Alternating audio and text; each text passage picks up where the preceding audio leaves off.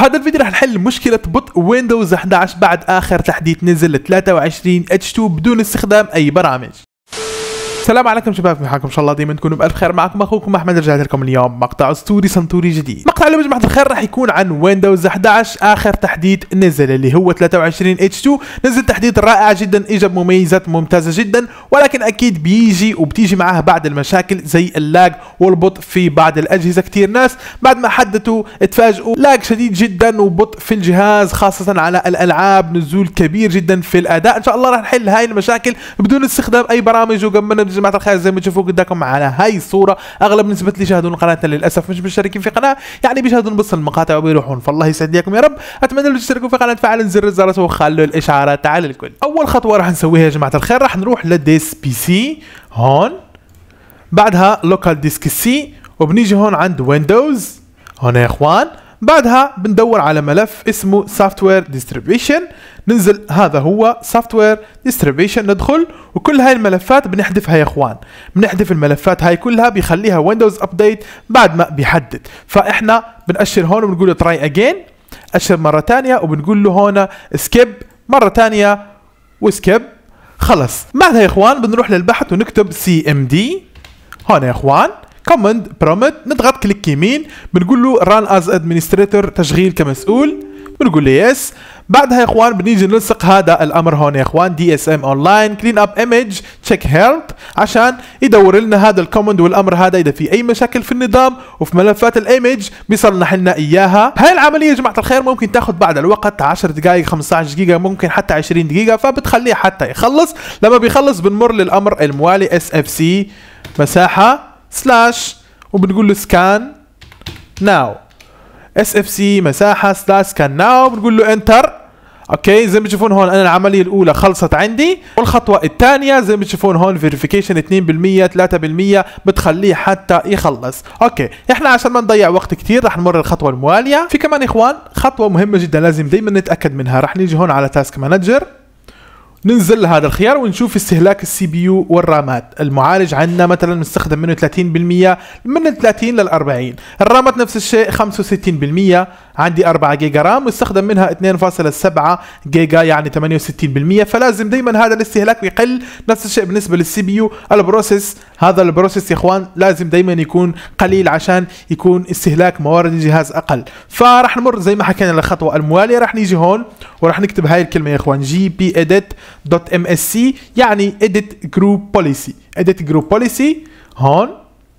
okay نستنى بعد الثواني بيفتح. ونيجي نجيب هاي بالشكل هذا يا إخوان.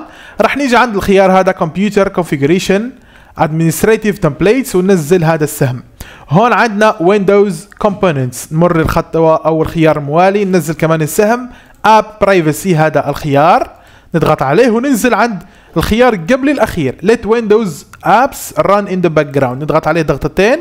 okay بعدها بنقول له enable. نيجي هون وبنقول له force deny هاي البرامج اللي بتشتغل على الخلفية فبنطفيها ب command يعني موجه الأوامر هون. يا إخوان بنقول له okay وبنقول له okay خلص خلصنا من هاي الخطوة. راح نمر بعدها للخطوه الموالية. services نكتب هون services أو الخدمات. okay ثواني بسيطة.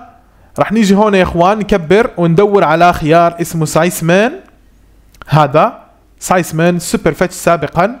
بنيجي هون وبنقول له disable نقول له stop نوقفه يا إخوان. الخيار هذا بياخذ من موارد الجهاز بشكل كبير جدا. disable stop بعدها apply وبعدها بنقول له okay الخطوة الموالية يا إخوان راح نيجي هون. وراح نكتب advanced هون يا إخوان. advanced view advanced system settings نضغط عليه. ثواني.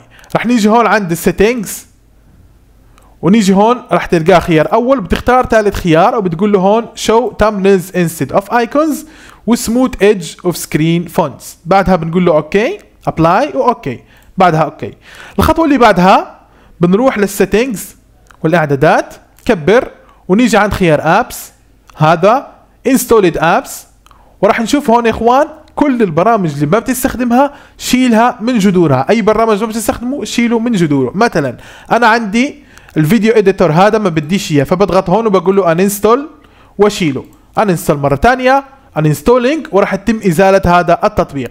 كورتانا ممكن كورتانا ما ينشال يا إخوان ولكن إحنا راح نقول له uninstall uninstall مرة ثانية. آه والله راح ينشال عشان سابقا ما كنت تقدر تشيله لازمك كثير خطوات. نفس الشيء ندور على أي برنامج. ما بنستخدم Maps ما تستخدموه شيله أي برنامج ما بنستخدمه يا إخوان؟ بنشيله. Microsoft News كمان هذا نعمل له uninstall إزالة يعني OneDrive إذا ما بتستخدم خدمات OneDrive تقدر تطفيه uninstall عشان يعني حبيب والله برامج كثيرة جدا بتبطئ وبتاخذ حتى مساحة من القرص. فنشيل ال Office نفس الشيء okay نقول له yes ال Office ما بتستخدمه شيله تقدر تشيله بسهولة من هون لما بتستخدم ال Office. نعمل له uninstall ال People كمان uninstall أي برنامج ما بتستخدمه شيله يا أخي وتخلص منه.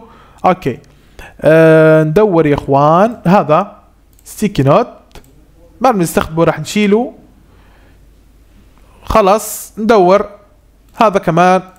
Weather نشيله كمان. خدمات ال Xbox بدك تشيلها. إذا ما بتستخدمها تقدر يعني تشيلها كمان. uninstall uninstall Xbox Live نفس الشيء.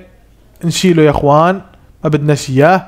voice recorder كمان إذا ما بتستخدموه بتيجي هون وبتقول له uninstall و uninstall رح نرجع مرة ثانية ونضغط على apps يا إخوان ونيجي هون عند الخيار هذا startup هذا يا إخوان. هاي البرامج يا إخوان ال startup حاول أنك تطفيها كلها باستثناء؟ مثلا ال Windows Security notification خليه ولكن شيل كل هاي البرامج باستثناء البرامج اللي ضرورية جدا تشتغل مع تشغيل جهازك. عشان لما بتشغل جهازك تلقائيا بتشتغل هاي البرامج وبتبطئ من أداء الجهاز. فتأكد من هاي الخطوة. أنا بشيل كل شيء باستثناء زي ما حكيت لكم ال Windows Security notification نرجع يا إخوان للأمر اللي سويناه. بنلقاه 100% verification complete بيقول لك Windows Resource Protection found corrupt files and successfully repaired them لاقى بعض الأخطاء وصلح لنا إياها فهسه تعمل restart للجهاز وخلاص. نمر الخطوة الموالية يا إخوان.